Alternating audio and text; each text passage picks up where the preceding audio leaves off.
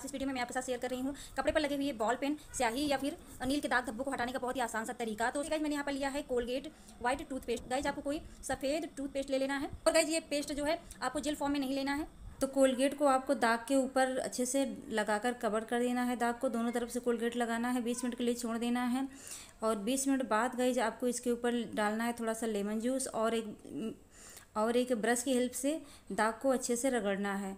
आप चाहें तो हाथों से इस, भी इसको रगड़ कर छुड़ा सकते हैं। उसके बाद साबुन लगाकर बिल्कुल अच्छे से दाग धब्बों को निकाल दीजिए। तो आप देखेंगे जो नील का दाग धब्बा है, बिल्कुल ही निकल जाता है, बहुत हल्का फुल्का धब्बा रह जाता है। तो भी आप उसको दो तीन बार पानी से अच्छे से धुलकर तेज धूप में डाल दीजिए तो जो हल्के फुल्के धब्बे रह जाते हैं, वे भी बिल्कुल गायब हो जाते हैं। वीडियो पसंद आए तो लाइक, शेयर और चैनल को सब्सक्राइब ज़रूर करें।